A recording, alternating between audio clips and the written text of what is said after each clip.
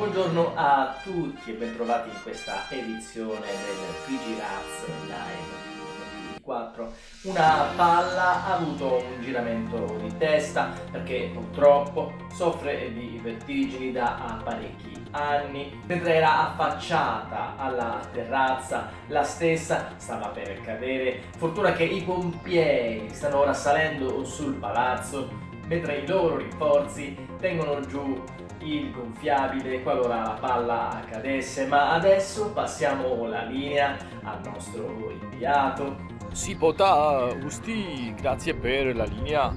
Siamo qui in terrazza e stavamo per intervistare qualche abitante del palazzo per capirne di più.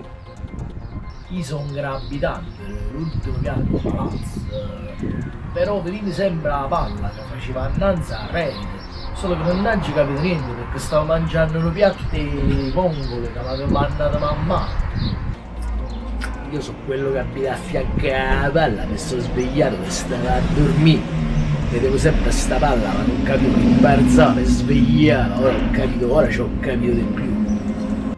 Passiamo adesso ad un'altra notizia. La penna è caduta dalla mensola ed è scoppiata. Per fortuna nulla di grave, ma diamo la linea all'inviato per saperne di più.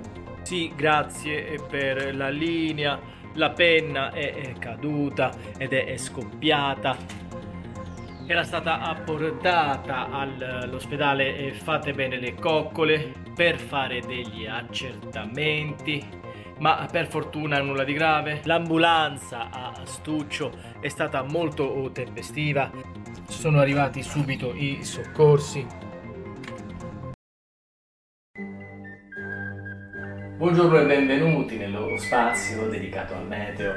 E di poco fa la notizia di alcuni piccoli batuffoli di cotone di neve che sono caduti nella Val di Chiara Ce lo segnala un nostro collaboratore sul posto che è stato sorpreso mentre mangiava un piatto di pappardelle.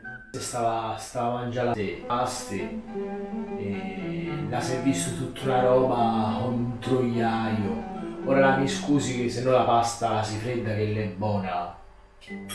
Resta confermato il tornado di spaghetti al nord, previsto in zona Milano Tantissima gente sta già affollando il piazzale del Duomo di Milano.